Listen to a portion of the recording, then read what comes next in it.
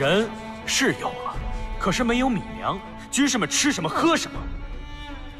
吕不韦是用真金白银买来了义，可现在要让那些士兵去啃树皮吗？吕不韦愿捐出家财给前线将士，臣也愿意捐出家财。吕不韦为王上买义，感动了无数的豪绅和百姓，他们都愿意慷慨解囊。各位大臣呢？父王，儿臣愿捐出一千金。臣捐五百。臣捐三百。臣捐六百。臣捐二百。臣捐三百。臣捐二百。臣捐二百。臣捐一百。吕少府，臣在。你为寡人买的义，当真是无价呀！做得好，谢王上夸赞。吕不韦，愧不敢当啊！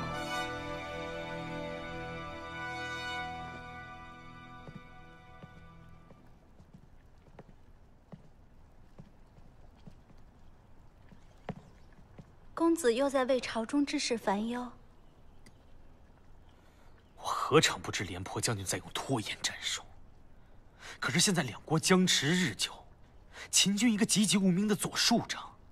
在玉溪河谷重创我军，我军士气大损。廉颇可以拖，赵国拖不起啊！再这么拖下去，不等秦军攻入邯郸，我们就成了一盘散沙。公子，朝中大事秀玉不懂，但是让您如此生气是会伤身体的呀。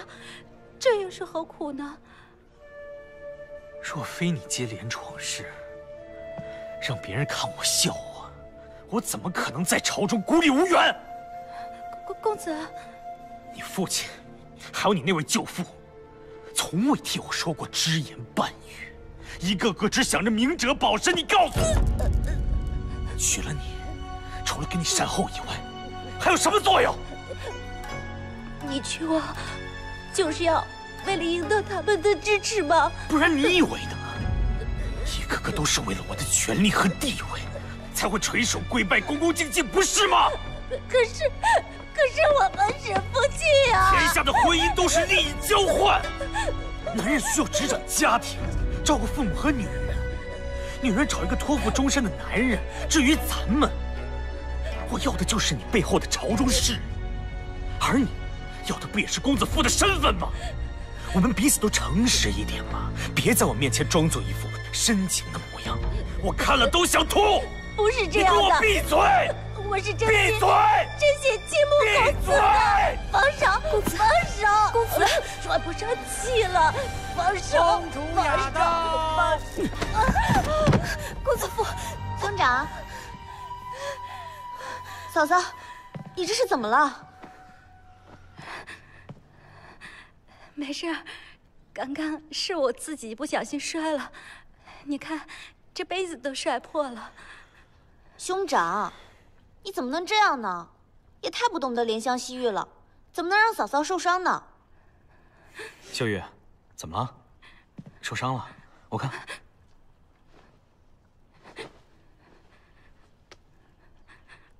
呀，皮都擦破了，还不拿药？快去！诺。雅儿啊，没事多陪陪秀玉，她在宫中也十分无趣。那是自然。兄长，你快去忙吧，我还有悄悄话要跟嫂嫂说呢。好，好好服药，啊。是。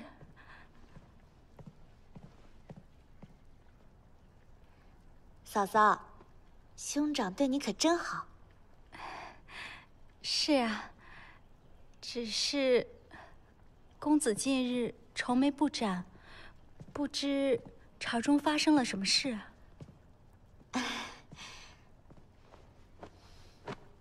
兄长定是怕你担心，才什么都不告诉你的。最近啊，父王特别信赖吕不韦，那吕不韦联合公子羽和丞相合起伙来对付兄长。现在这朝堂上，哪里还有兄长说话的份儿？公主似乎不是很喜欢公子羽啊。兄长自幼寄养在我母亲膝下，自然与我十分亲近。可那公子羽是云少妃的儿子，自小便会装好人、博声名。现在他有了吕不韦的帮助，更是不把兄长放在眼里了。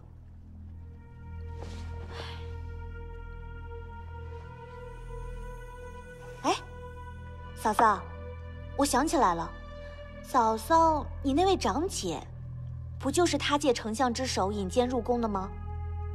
说不准他们真的别有居心呢。什么居心啊？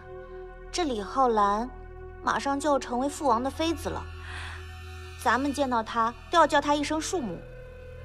这以后呀，前朝有公子羽、吕不韦。后宫还有那个李浩然给父王吹枕边风，恐怕兄长再无立足之地了。哎呀，你瞧我都说了些什么呀？我是特意来看望嫂嫂的，还净说些让你不高兴的话。嫂嫂，你可千万别往心里去。啊，对了，嫂嫂，那花园里的花开得漂亮极了，你若是有空，不妨多去走走。啊，好，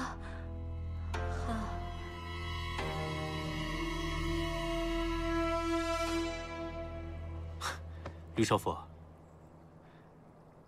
我先告辞了。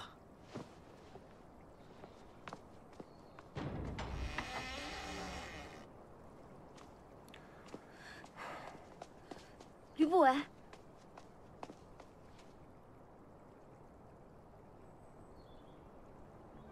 刚才那个可是公子羽？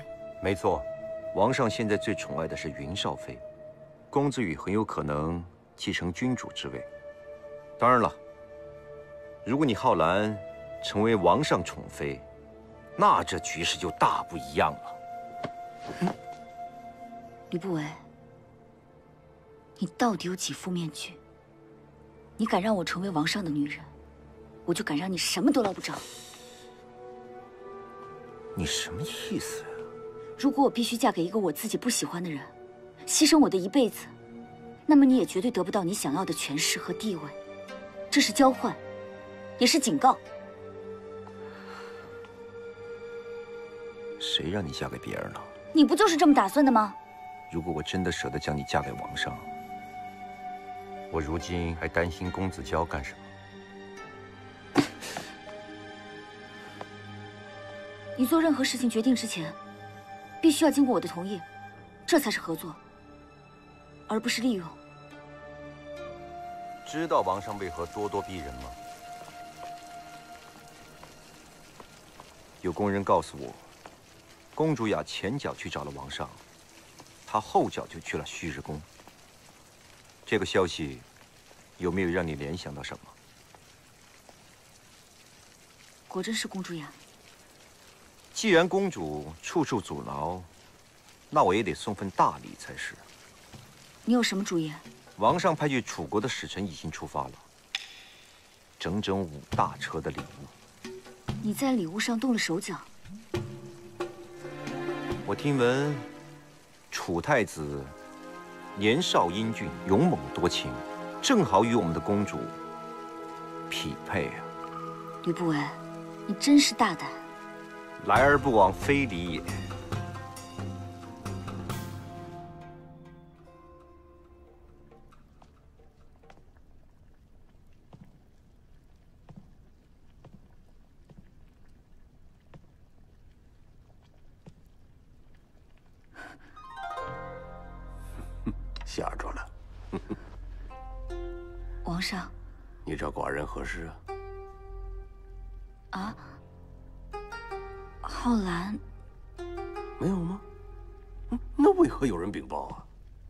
哎，这这，嗯，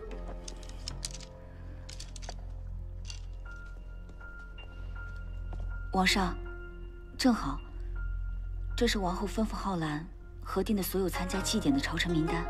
哎，这些事情让礼官去办就好，你又何必亲自动手啊？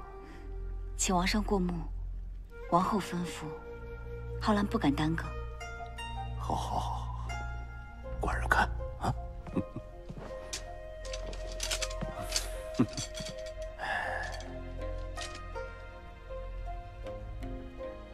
真的很好啊，浩兰办事妥帖，寡人非常同意。好，嗯，关幕了，这总行了吧？多谢王上，浩兰先行告退。浩然，寡人向王后要了你来伺候，你是否心甘情愿呢？凡是赵国女子得蒙王上恩宠，是天大的福气。浩兰不敢有任何怨言。寡人身边美女如云。可就是少有知心人。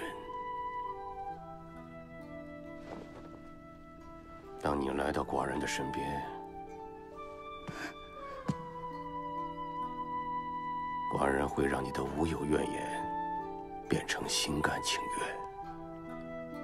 皇上，王后她……寡人是来看你的，与他人何干？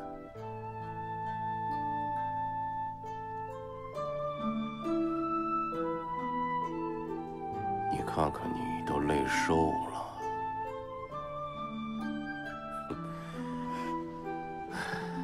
等盛典一过，寡人就赐你一座宫殿，到时候你就不用再卑躬屈膝了。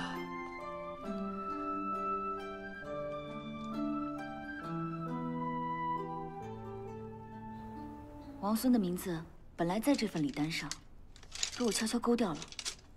王上已经批准了这份礼单。辛苦你了。如此一来，我便可以安排王孙在祭典期间离开赵国。王上和王后立刻就要启程，你要利用时间尽快布置。你也要多加小心。等王孙离开以后，我会想方设法来接你。吕不韦，怎么了？我们是同甘共苦的伙伴，记得你答应过我，任何时候都不要丢下我。我信你，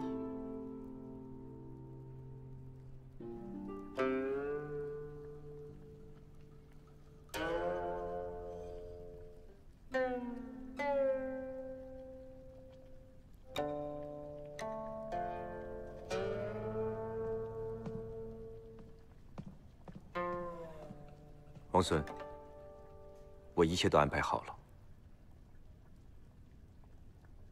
王孙。王孙，吕大人，嗯，东西都收拾好了，您可以随时启程。启程？啊，去哪儿啊？您不知道啊？王孙也得去马夫山。王孙是秦国人，为何要参加赵国的祭典？这王上吩咐了，要请秦王孙去观礼。我刚才在门外听您说准备好了，您准备好什么了？吕大人说的是，棋盘已经准备好了。哦，只可惜这一次，不能再陪你一块下棋了。哪里的话呀？下棋嘛，在路上下也是一样的。吕大人也要随行？自然。这马车多颠啊！你们还有心思惦记着下棋，太有雅兴了。苦中作乐而已。公孙将军，你可见笑了。哎，那你们先聊着，我还有事吩咐下人去做。先告退了。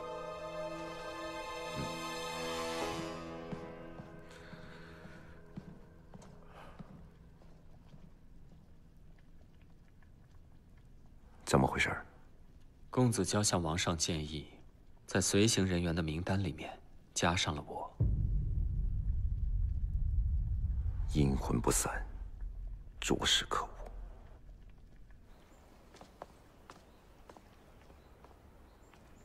殷医师，你怎么会在随行名单里？王上重新拟定了随行名单，因为他大病未愈，所以命我随行。你怎么了？啊，只是随行名单变更的事，连我都不知情。公子娇重新拟定了名单，送去给王上审阅，你自然不知情。我不知道你们在计划什么，但是我提醒你，小心公子娇。殷医师，你好像对宫中的人都很了解。殷家祖孙三代都是医师，我从三岁开始就跟着父亲拿针认药。宫里的门上有几颗门钉，我闭上眼睛都能数清楚。可惜，我了解赵王宫，却从不懂人心。人心叵测。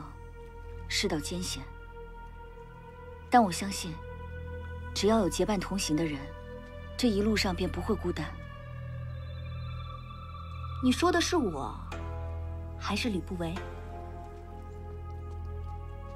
在这个世上，你最该相信的人只有一个，那就是你自己。我曾经受过骗，上过当，但有一个人。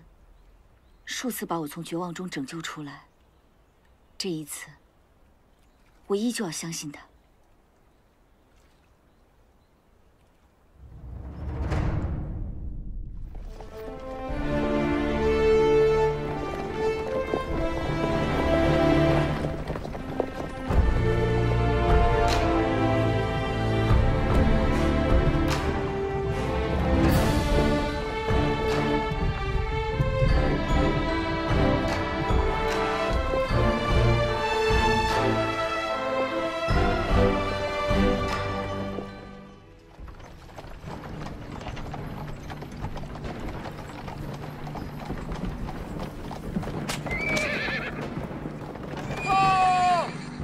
了，前方发现魏国迎亲队，正前往邯郸。他们怎么也来？快走，撤！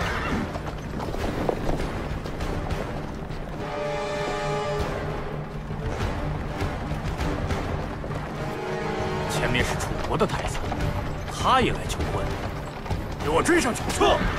快！撤！撤！撤！快点！撤！撤！快！撤！快点，快点，再快点！撤！撤！撤！撤！追呀！快跟上！快！快追呀！快！快呀！撤！撤！撤！撤！撤！撤！撤！撤！撤！撤！撤！撤！撤！撤！撤快点，快点啊！再快点！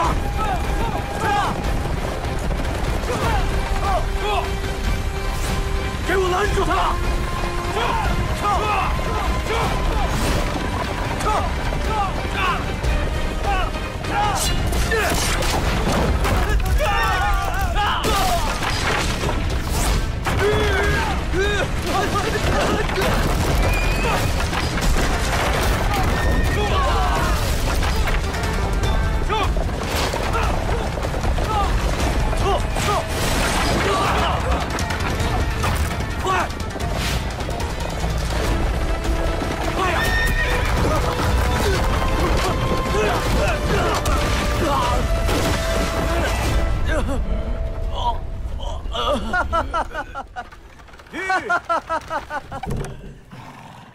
怎么了，魏国使臣？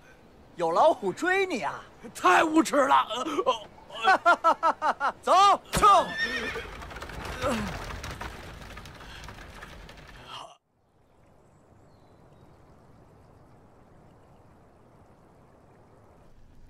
祭典的安排，寡人都看过了，面面俱到啊！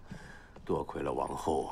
其实祭典的事情，浩然出了不少力，王上应该重赏。哎，这还用说？拜见父王。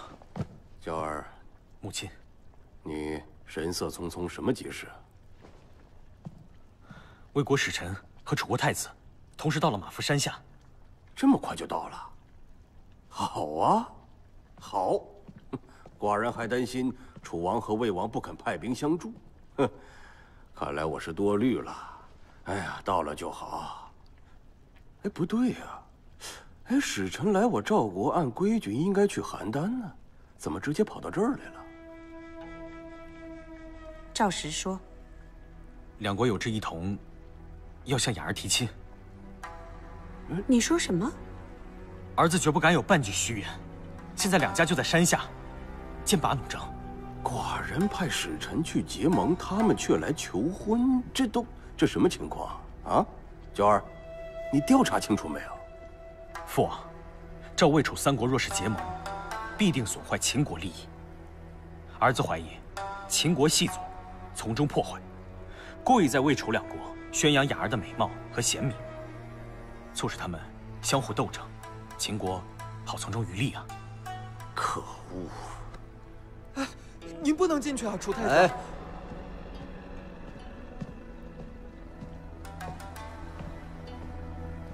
楚国太子熊完见过赵王、王后。你是谁？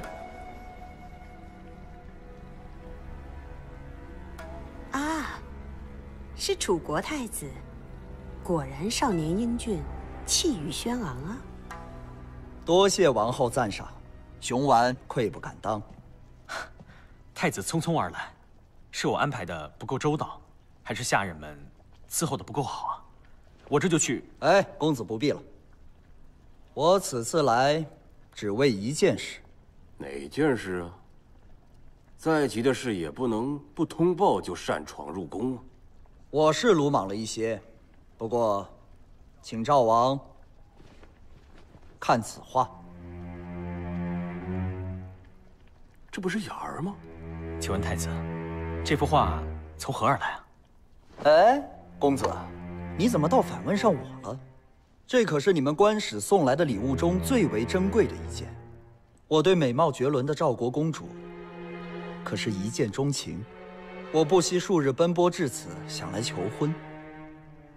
可未等我入住，我便看见魏国的官使，跟我拿着同样的一幅画。我斗胆问赵王一句：究竟意欲何为啊？来来来，这究竟怎么回事？啊，雅儿的画像怎么可以夹杂在那礼物当中？父王，那礼物当中的确不会有此画，肯定有人从中作梗。那，父王，请相信我，我就是太相信你了，才闹出这种笑话。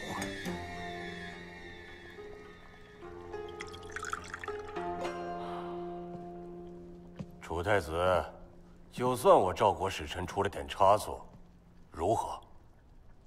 就算那礼物当中夹带了这幅画像，如何？无妨，无妨。我只是想问一问，此画中的女子，到底是不是公主雅？是，是就太好了。那就不枉我此行了。我此来就是想让我两国联姻，让我楚赵永结友好。楚太子，雅儿可是我唯一的女儿。他的婚姻大事自然不能草率，当然要有人占卜姻缘才可以定啊。我既然敢来，那自然是已经找人占卜过，此乃天作之缘。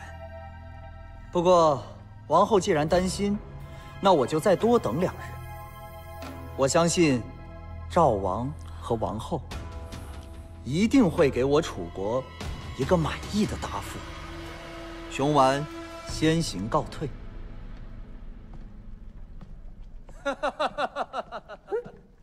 赐庶子无礼，寡人怎么可能把公主嫁给这种东西？王上，此事还得从长计议。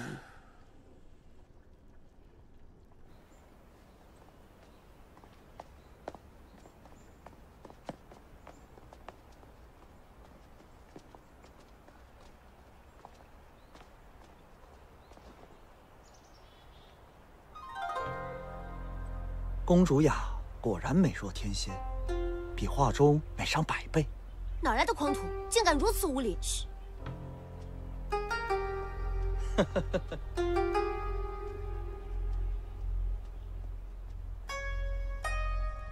狂妄！寡人也知道此事事关重大，可这这楚太子也太狂妄了吧！此事啊，暂时不能让雅儿知道。父王。你要瞒我什么呀？瞒瞒瞒瞒了吗？你都听见了？啊，那是这样啊。哎呀，你你说，魏楚两国要来求娶你，不知雅儿意下如何？我不嫁。重之以婚姻，深之以盟誓故国之奸计。你身为一国公主，哪是不嫁两个字就可以超脱的？生命是由父母给予，可是，一旦落地，便不再由人。你们二位想让我嫁过去？好啊，那就抬着我的尸体去吧。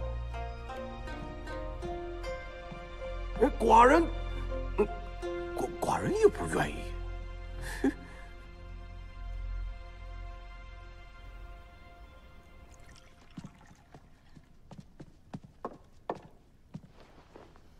公主，伊人，公主，发生了何事啊？魏楚向我求婚的大军都到了马伏山上，是真的。伊人，你怎么说？我身为秦人，本不便多言，但公主问起，便直言不讳了。诸侯世代结为婚盟，以资系缘。如今赵国面临困境，向魏楚求援，对方趁势提出以婚姻固盟，实是理所当然。若公主愿意出嫁，可解赵国之困。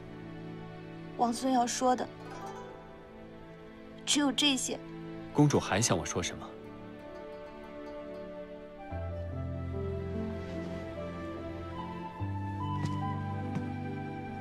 既然你无话可说，那我来说。全赵国的男人都一样，都想要用我个人的牺牲来换取国家的太平。敢问一句，战争是男人们挑起来的，血腥和仇恨却需要柔弱的女子去承担。这么看来，男人是何等的懦弱和可笑。公主，身为王室。每个人都有自己的责任和义务。你从小到大锦衣玉食，前呼后拥，都是因为受到百姓的供奉。如今他们需要，你既从未拒绝过享乐，便不该拒绝这样的牺牲。君主统领臣民，朝臣辅佐朝事，将军行军打仗，若是都尽职尽责，国家就应该安定太平，何需要牺牲一个女子的幸福？来维护结盟，你们都守不住的责任，却需要让我来守，这公平吗？公主这话大谬，臣不敢妄言君王。这单说连老将军，还有二十万赵国将士，他们在前方浴血奋战，守卫国土，他们的牺牲，你看见了吗？这男人们都上了战场打仗，这后方的春耕秋收，全都有老弱妇孺上阵，为了补给前方的军粮，他们的付出，你又看见了吗？公主整日揽镜自照，自然是看不见百姓疾苦。可是王上他看见了，这就是他徘徊犹豫的原因。事已至此。公主不应该只顾儿女私情，更不应该来缠着王孙，否则只会给王孙带来杀身之祸呀！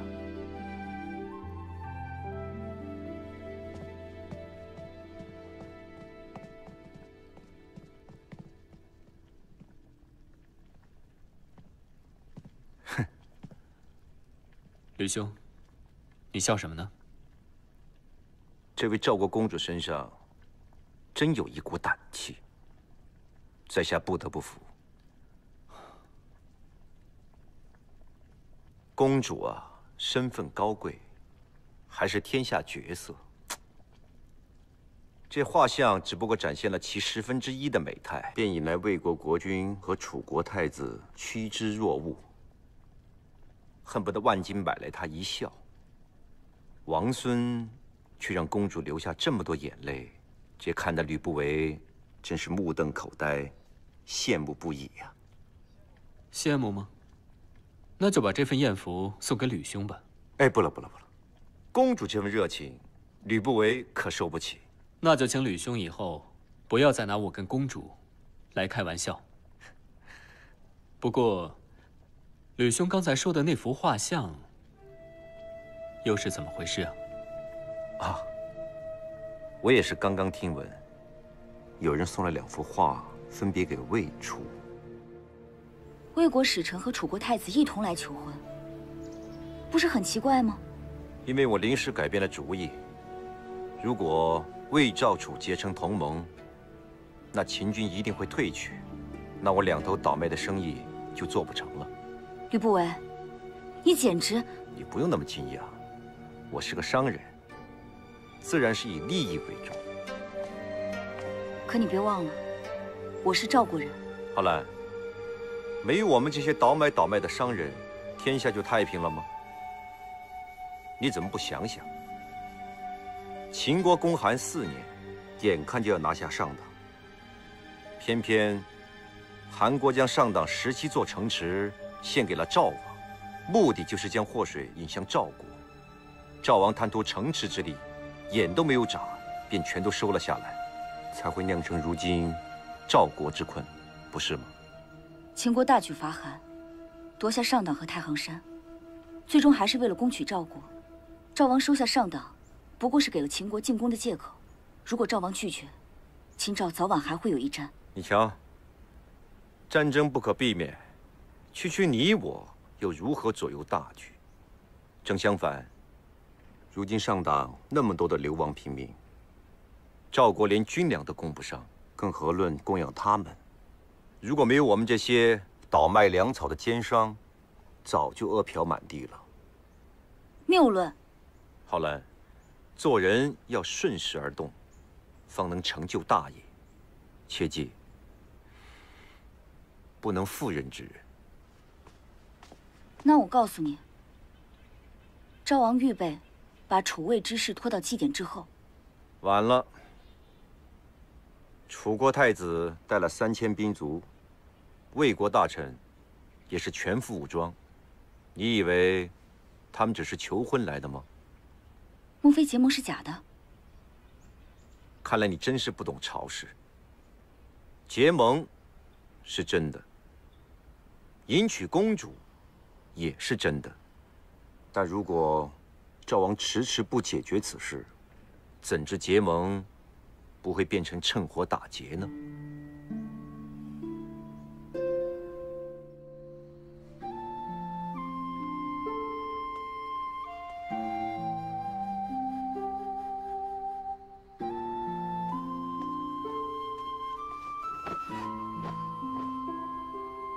浩然姐，你在想什么呢？阿月，吕不韦赠送魏楚画像，只是为了挑起三国内讧，赚取投机之资吗？你说的，阿月不明白。只怕事情没有这么简单。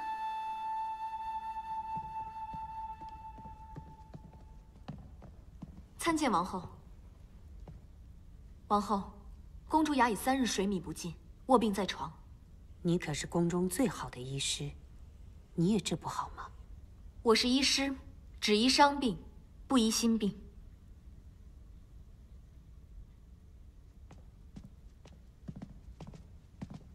公主，你还是吃一点吧。不吃。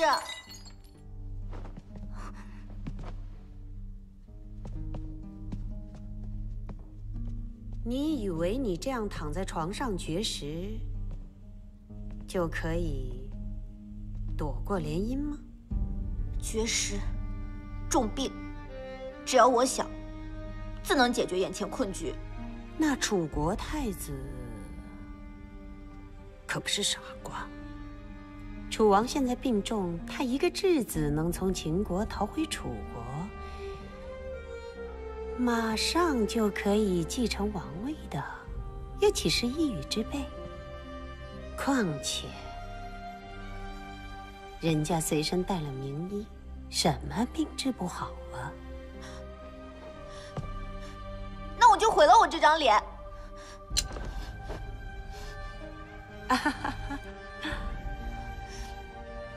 母亲，您笑什么？嗯，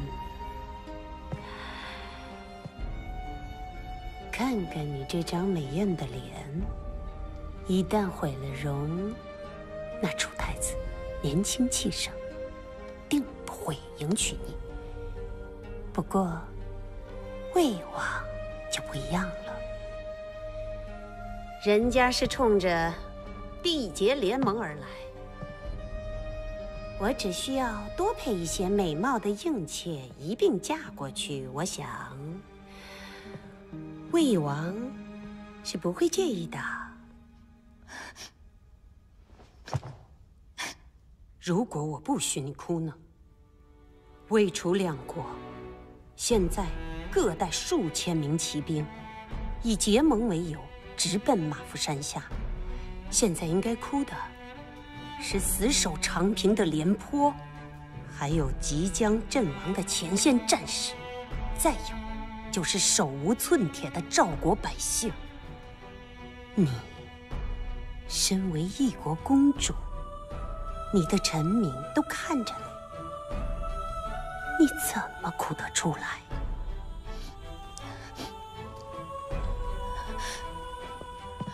母亲，如今的局面。真的是联姻就能解决的吗？前线的士兵还等着两国援军呢。三国内讧，最高兴的恐怕只有秦人吧。王后，浩然斗胆，有一个方法或可一试。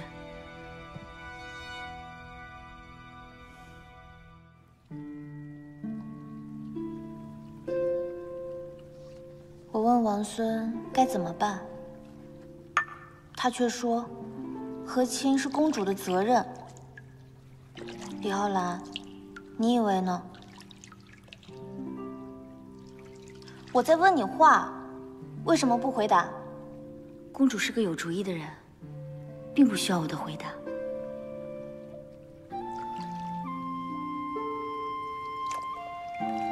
我和兄长们同为父王的骨肉，他们骑马射箭的时候。我为居着学琴棋书画，他们打猎玩乐，我一遍一遍的学习礼仪规矩。他们游历天下，我竟茫然不知外界发生了什么。同样享受着荣光，到了这个时候，责任却变成我一个人的，凭什么？仅仅是因为我这副女子的躯壳吗？公主不甘心，我当然不甘心。他们决定了我的过去，还要操纵我的未来，你看到没有？那一双双锋利的眼睛像毒蛇一样盯着我，恨不得立刻用我的血肉之躯来弥补他们的愚蠢而犯下的失误。只因为我是女人，便要向他们的规则让步，忍受天下间所有的不公。我当然不甘心。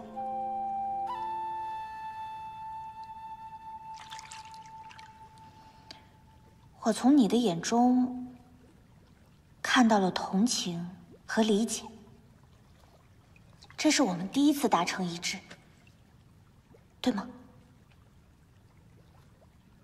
是，这是我第一次理解公主，但也许这种理解是建立在公主的痛苦之上。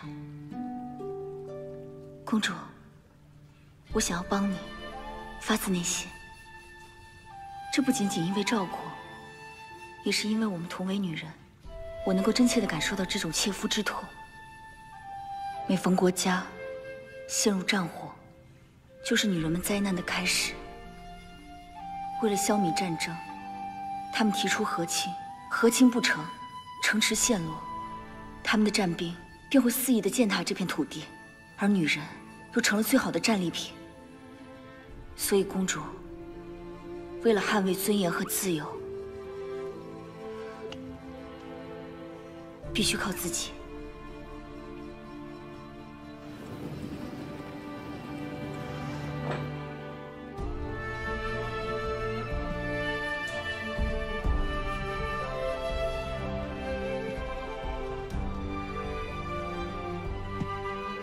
浩然说的话，请公主务必牢记。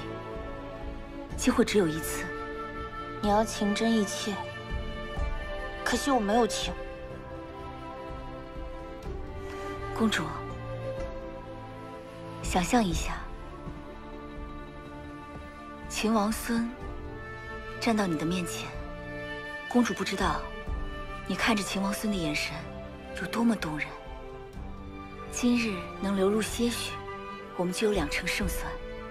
只有两成？是，只有两成。只有两成，你也敢让我试？万一失败，这是唯一的机会。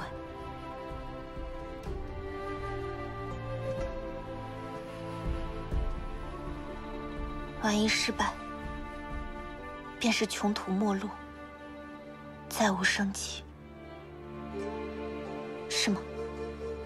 是。李浩然，我信你一次。